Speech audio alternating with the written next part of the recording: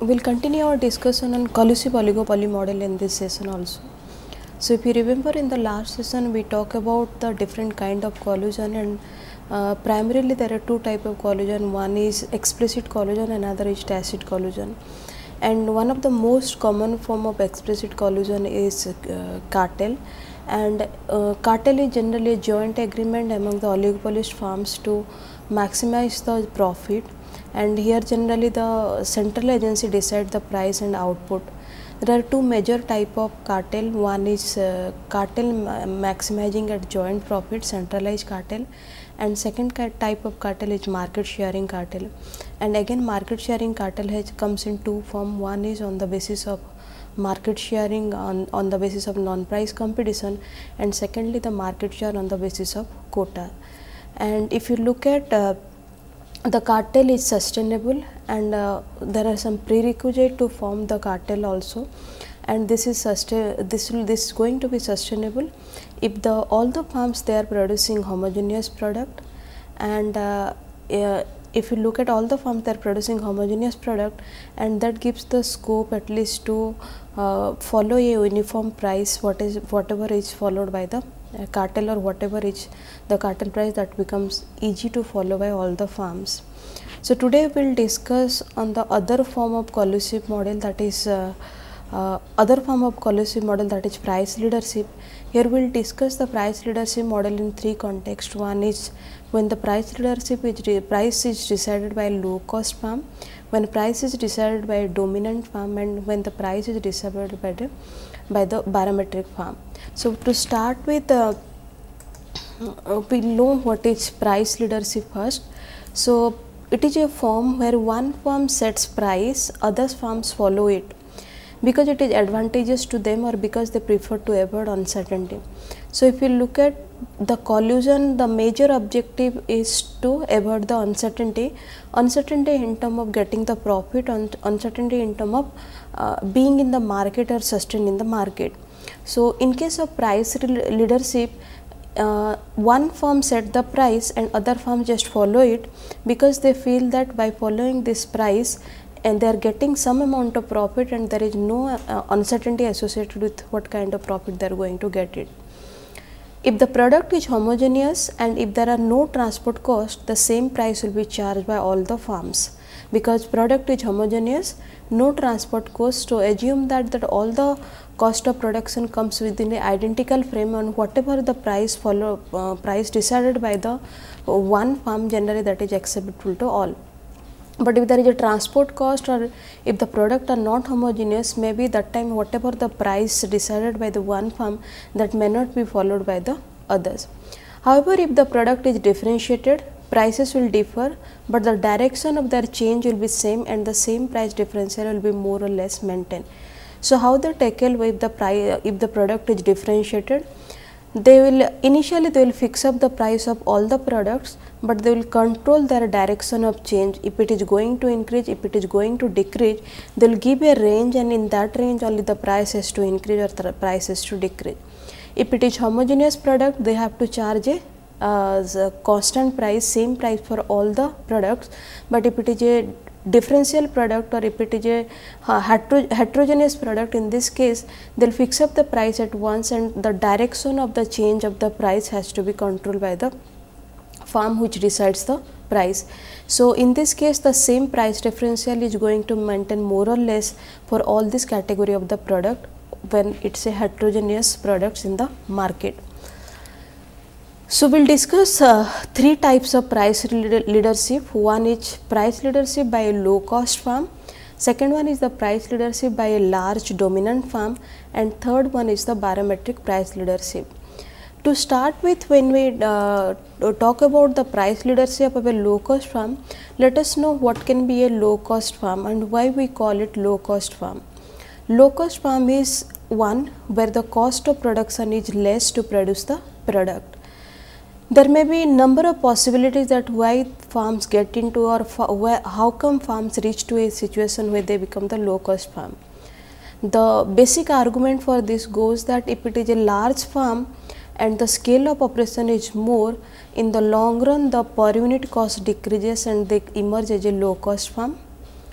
Second, again if it is a mass production, again the same reason if mass production, large scale, uh, in the long run generally they get into a situation where the per unit cost decreases goes on decreases they reaches the minimum and then it increases. So, low cost farm is one farm which generally uh, lies in the decreasing portion of the long run average cost curve till the time it is reaching to the minimum cost. So, to produce the same product if there are number of farms in the market. If one farm is producing that at a lower cost of production. As compared to other uh, as compared to the other farms generally they are known as the low cost farm. And they are low cost farm maybe because of economies of scale. And again if you want to specifically uh, find out a region maybe efficiency of uh, raw material efficiency of inputs efficiency of technology efficiency of the manpower involved in the production process they become they uh, makes the uh, farm become the low cost farm. Now if the low cost farm generally decide the price in a market in one kind of price leadership model we find that the low cost farm decides the price. If the low cost farm decides the price let's find out graphically and also numerically that how the outcome is on the other farms in the market or why the low cost farm is being chosen is the price leader particularly in this type of market or in this type of arrangement of collusive model, uh, collusive model of oligopoly.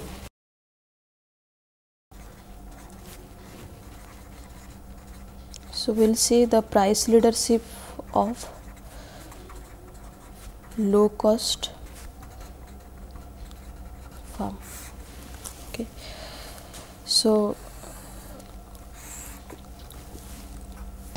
we'll take the demand curve. We assume there are uh, mainly two farm. One is uh, farm 1 another is farm 2 so uh, we'll uh, will uh, take the demand curve as average revenue 1 and also average revenue 2 and this is in the uh, this is shown in the form of the demand curve we will take the marginal revenue curve that is MR1 equal to MR2. We will take cost function, we will take separate cost function for both the firm. So, one we have as marginal cost 1 and second we have the marginal cost 2.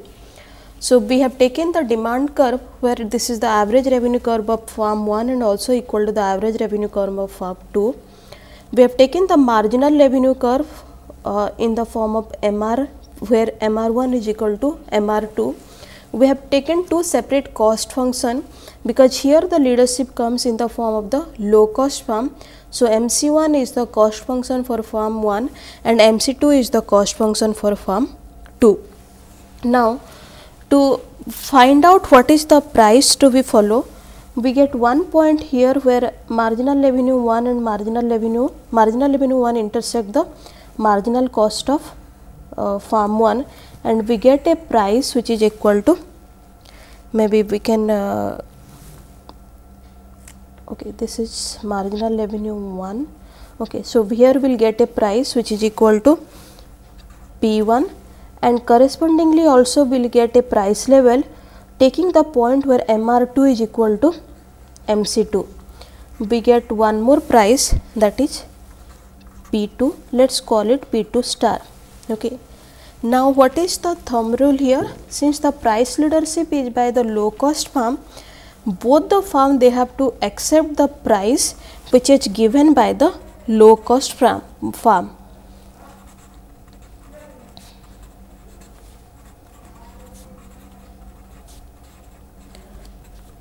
Price given by the low cost farm and what is the price given by the low cost farm? That is P1. So, ideally this P1 should be equal to also P2. So, this is the price since farm 1 is the low cost farm.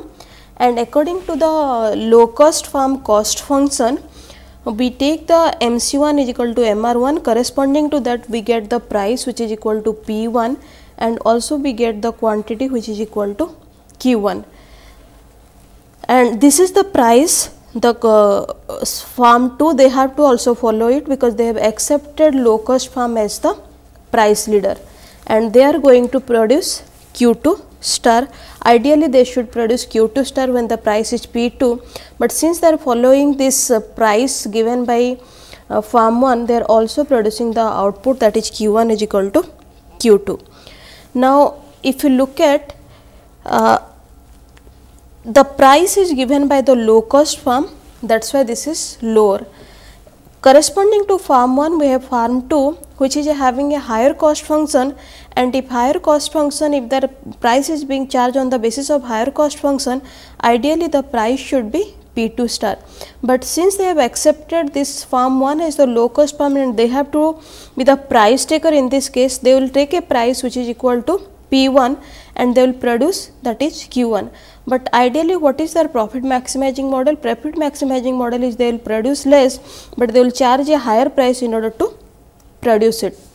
So, when the price is given by the low cost farm, the high cost farm they have to accept it but uh, at in the long run if the price is going to be continuously lowest as compared to their uh, profit maximizing price they may not accept the farm as the leader and they will uh, they will not into be the collusion they will go out of the collusion and they will independently change, uh, independently charge their price on the basis of their profit maximizing level of output. Because they will feel that continuously in the long run also if they are uh, charging a price price which is much lower to their cost function or much lower to their market price what it had would have been on their profit maximizing level then in that case they will go out of the collusion and they will charge independently their price. Now, we will uh, just take a numerical to understand this uh, price leadership by the low cost firm. So, we will get two demand function that is uh, Q1 is equal to 50 minus 0.5 P1, P1 is equal to 100 minus 2 Q1.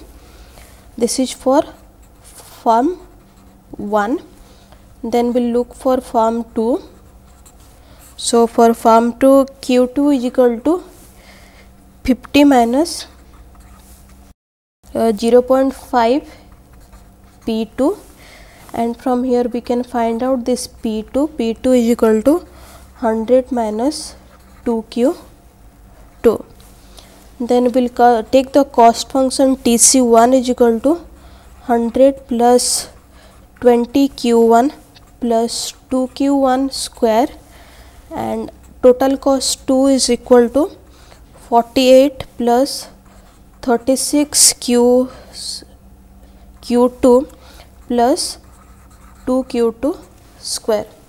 So, q2 is equal to 50 minus 0.5 p2 pt is equal to 100 minus 2 q2.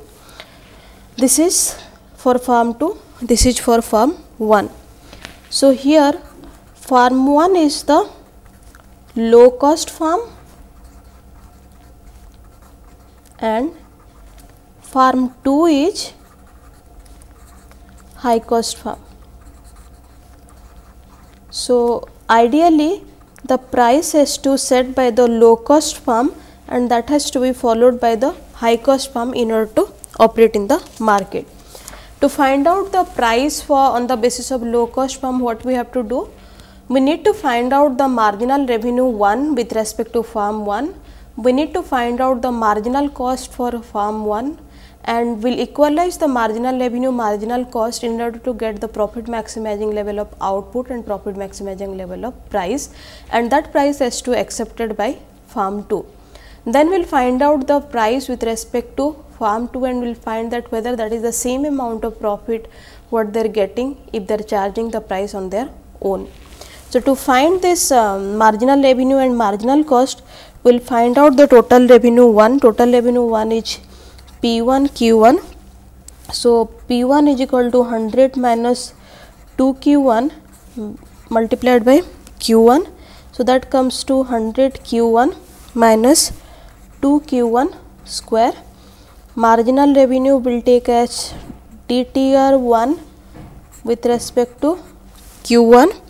So, uh, that will continue or maybe we can find out the profit.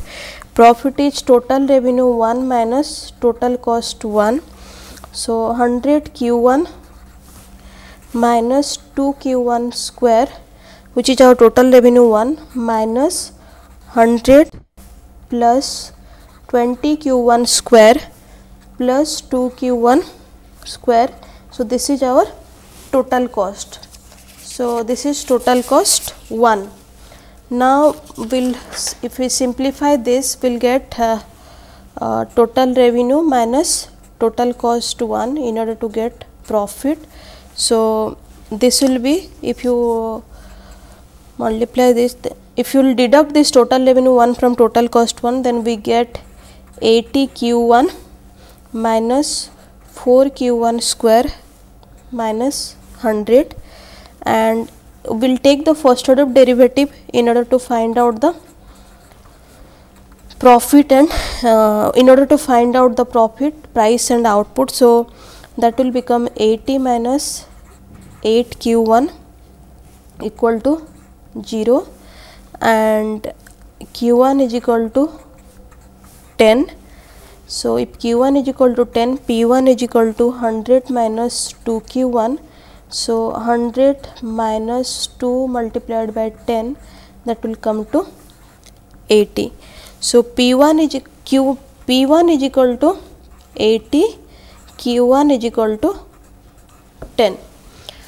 That is if the price is decided on the basis of the low cost farm P1 has to be equal to 80. Now, we will find out for farm 2 and we will see whether if they are following their profit maximizing formula, whether they are also getting the same amount of price or they are getting a different price. So, to find this we need to get the total revenue 2 and total cost 2 because that will give us the profit. So, total revenue 2 is equal to 100 Q2 minus 2 Q2 square and pi 2 will be equal to 100 q2 minus 2 q2 square minus the total cost 2 so that is 48 plus 36 q2 plus 2 q2 square.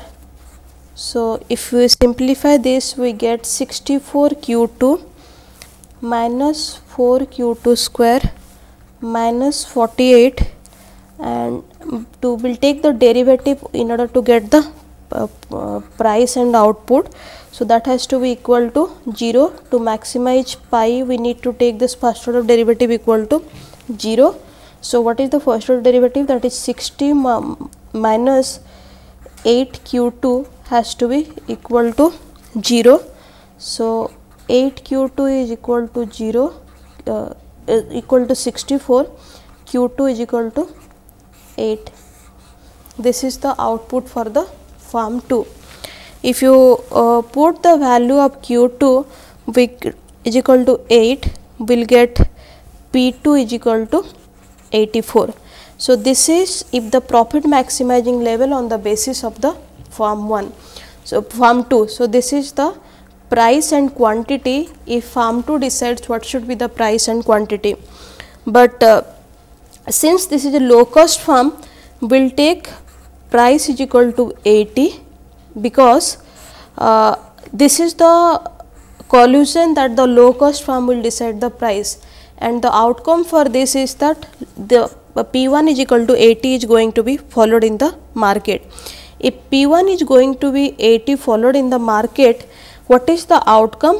Outcome is there is a reduction in the profit by